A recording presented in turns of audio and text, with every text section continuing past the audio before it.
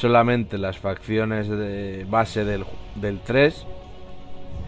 Y luego está Imperios Inmortales, que es básicamente un mapa que junta los mapas del 1, 2 y 3